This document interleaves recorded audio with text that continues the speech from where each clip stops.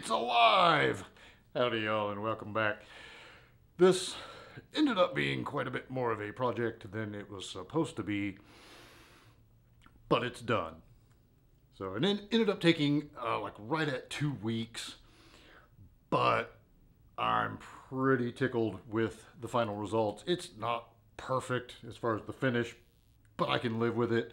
And I sort of immediately started relicking it not on purpose. so it's already got a couple of little worn spots and whatever, and it will just get more and whatever. But I'm pretty pumped with the tone that it's giving. It, it sounds better than it did with the weird, like, pickup bedliner material stuff that was on it before. A little more resonance or whatever.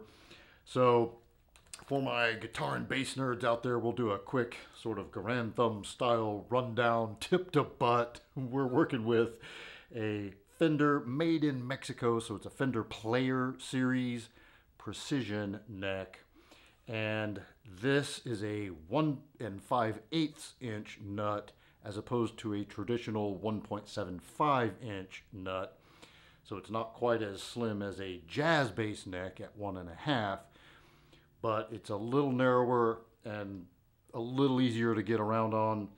Uh, I'm, it's taking me a little bit. I've been playing a jazz neck for the last 15 years or whatever when I play. That's a whole other story, but it uh, I'm starting to get used to it now, and I really like it. Very nice satin finish. It's not the super posh American, you know, quality, but it's decent.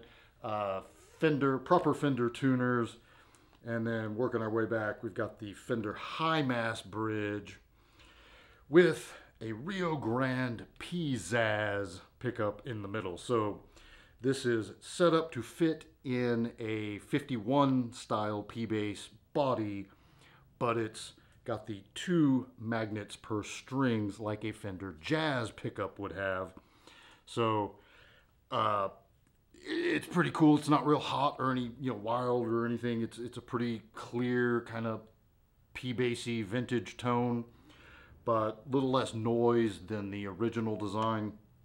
And these pots in here, I can't even remember what they are, but they're gonna go. I actually ordered a whole new set, so I'm gonna get the joy of more soldering, but uh, they're okay. They're just, I'm not loving the way they work, so I'm gonna be changing those out. Uh, finally got the jack this was a so this is a like a traditional flat jack that I had to like bend into and make it conform, and I was never able to quite get the shape exactly right and get it snug down on there, and spent a bit more time working that out, and now I'm pretty tickled with the way that came out as well. So you can see I've got a little early wear already down on the butt, but overall I'm loving it, and it just feels good to play again. There are a ton of my actual supporters, like my real Patreon patrons, that are guitar and bass nerds. Like the crossover is wild. So that's why I feel validated in sharing all of this on a gun channel is that I know that there is a giant crossover.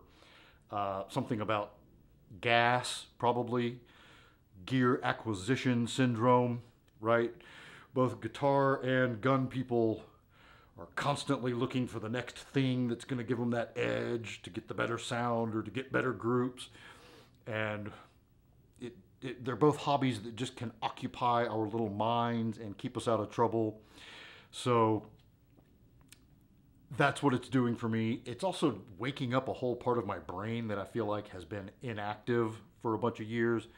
Uh, it was really 10 years ago was the last time I was playing like with any kind of regularity. And that was for about a year and a half, not even a year and a half. And then I got a bunch of my basses stolen and, and my amp. And so that just kind of killed the whole vibe for me. And uh, as I mentioned in my last video, this got put away in storage and just sat there collecting dust and doing nothing.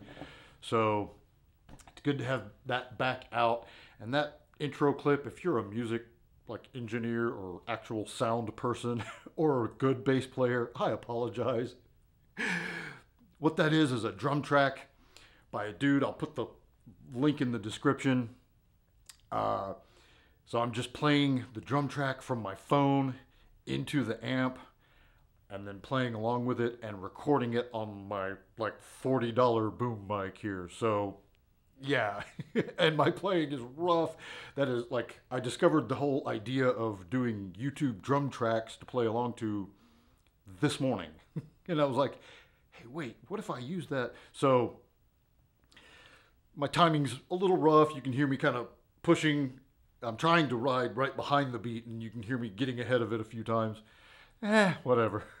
It's a gun channel, right? but anyway, thanks to everyone who has supported this channel because y'all helped fund all of this. And I do have a super cool giveaway announcement coming soon.